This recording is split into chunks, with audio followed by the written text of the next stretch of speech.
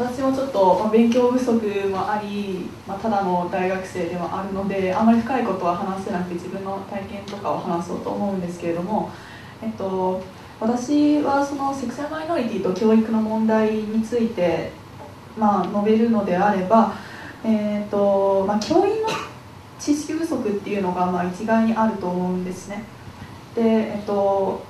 まあ、いろんな生徒がいて、まあ、そのセクシャルマイノリティだけじゃなくていろんな問題を抱えてる子たちがいると思うのでその教員が世の中の全ての人に関する知識を持っているっていうのは多分無理だと思うんですね。だから、まあ、異性愛を前提としてしまうこともまあ分からないではないんですけれどもそのなんだろうなうーんとまあ、1クラス30人とか、まあ、今少子化だかもうちょっと少ないかもしれませんけれども30人とか40人とかいて、まあ、そこで、まあ、1人の教員が指導するわけだからなんか、まあ、最大多数の最大幸福みたいな感じにはなってしまうとは思うんですけど、まあ、それにしても結構セクシャルマイノリティの子供っていうのは1クラスに1人ぐらいはいると思うので、まあ、もうちょっと触れてもいいかなっていうふうには思っています。で、えっと、私の体験なんですけれども、えっと、高校の時の先生にちょっと相談しようと思っていて、えっと、高3の時から受験生でで自分の進路に迷ってたんですね。でその時から、えっと、最初はあのちょっと医療系に行きたかったんですけれどもでもなんだろうなちょっと自分の人生を真剣に考えてみた時にあの、まあ、被差別者として生まれてっていうか、まあ、セクシャルマイノリティとして生まれてで、まあ、ああまり生きやすい社会とは言えな言えないと思うんですね。で、まあ、せっかくそういうふうに生まれたし、まあ後の世代にもちょっともうちょっと住みやすい社会っていうのを残してあげたかったので、えっとまあ、なんかもうちょっとなんかそそっちのなんていうんですかね社会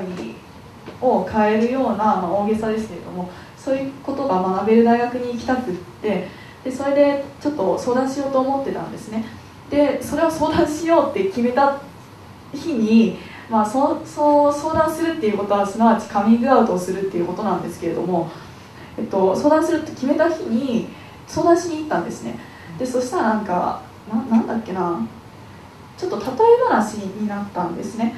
で君は今好きな人がいるか好きな人が付き合ってる人がいるみたいな話になって、まあ、今いませんけどって言ったら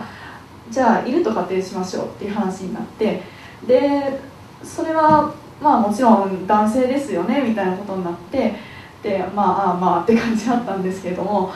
あだってレズじゃないでしょみたいなことを、まあ、半分冗談なんですけど言われてああ来たとか思ってでそっからちょっともう言いづらくかったんですけど、まあ、まあここで言えなかったらそんな社会を変えたいなんて大げさなことも言えないしと思って、まあ、カミングアウトをしたんですけれども、まあ、そういうふうに、まあ、その先生は実際あの偏見偏見はあるかもしれないけど、まあ、差別意識とかは全然なくってでも、まあ、目の前にいる生徒がそのセクシャルマイノリティだっていうふうに、まあ、想定してないわけですね。でやっぱりなんだろうそういうふうにまあなんだろうやっぱ教員に意識がないんだなっていうふうに実感として思いました。で、えっと、その先生は結構ベテランの先生でえ多分まあ40代後半ぐらいだと思うんですけれども結構もう教育一本みたいな感じで海外に行ったりとかもしてるすごく何て言うんだろうな。日本の方向だけじゃなくて、まあ、世界の、まあ、海外で教育したりとかいろんな子供を見てる人なんですね。でその人が結構、まあ、人生経験も豊富だったんで、まあ、1人ぐらいはいただろうというふうに私が勝手に思ってたんですけれどもかそれを後で聞いたらいやいなかったっていうふうに言ってて。でなんかその話を聞いてそれだけ結構なんだろうな子供っていうのはカミングアウトしづらいしまあ、見えてないんだなっていうふうに思いました。で、えーとまあ、またその先生の話なんですけれどもこういうことが私はしたいんだっていうふうに相談したらなんかこれだけテレビとかメディアでその、まあ、いわゆるお姉系の人たちとか、まあ、お姉じゃなくてもそのセクシャルマイノリティの人が露出している中でまだ社会問題っていうのはあると思うのか差別ってあると思うみたいなことを聞かれたんですけれどもなんか、まあ、それって結構なんだろうな異性愛者の人から見てかなり素直な感想だとは思うんですけれども、まあ、私からしてみればなんだろうなその結構たくさんの子どもたちを見てきて絶対にいるはずなのに見えてこなかったっていうそういう状況でカミングアウトしづらいっていう状況があるのに社会問題じゃないのかっていうふうに、まあ、差別ってないと思うのかって逆に聞いてみたらまあなんか確かにみたいな感じでしたであとはその、まあ、私がこのこともあるんだなと感じたのはその、まあ、実際にいるっていうふうに、まあ、その先生は分かったわけでで、まあ、その直後からそのデズって言ってたのをレズビアンに直後から変えて言ってくれるようになりましたね。でまあそういうなんだろうな。まあそれは確かに一例でしかないけれどもそういうなんか教員の意識不足っていう問題が私はすごくあると思います。で、まあ、さっきも言いましたけれども教員だからって世の中全ての問題をについて全て知っている知る知らなきゃいけないっていうふうにするともう教員に負担がかかりすぎてしまうしそんなことは不可能なので、まあ、やらなくてもやらなくてもっていうか、それを課すっていうことは非現実的だと思うんですけれどもやっぱりいろんな子たちがいるわけだから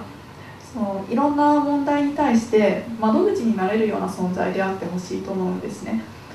セクシャルマイノリティの問題だったら、まあ、そういう人がいるっていうことを実感として分かっていてほしいっていうのがまず一つであとどこにどこに行けばその情報にアクセスできるのかっていうことを、最低限ちょっと知っててほしいかなっていうふうに思いますであとはあおついさん教科書あります？ああいいよ、えっとあとはですねまあその教員が知らなくても教科書に載せるですとかまあ、そういうふうにするといいかなって思います。でなんかスウェーデンでしたっけ？スウェーデンの教科書にはあ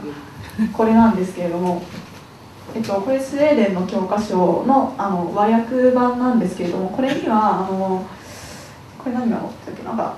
その社会科とかじゃなくって社会問題についてたくさん載ってるんですけどもこの中に、まあ、同性愛の問題とかも載っていてでもしあなたが同性愛者だったらここにアクセスすれば情報が得られますよみたいなそういう窓口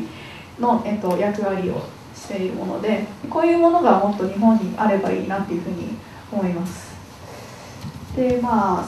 それぐらいですかね、うん、あとは自分のことを話すと、えっと、さっき言っていたなんだろう異性の興味が芽生え始めるみたいなことが書いてあったけど私はいつまでたっても芽生えないけどなんでだろうみたいな おかしいとか 思ってたんで、まあ、その辺も考慮してもらえると嬉しいかなっていうふうに思います。はい、以上です